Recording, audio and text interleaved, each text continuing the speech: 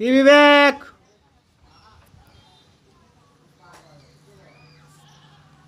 হ্যাঁ বিবেক এইটা দেখ কি হয়েছ হ্যাঁ मौज कर दी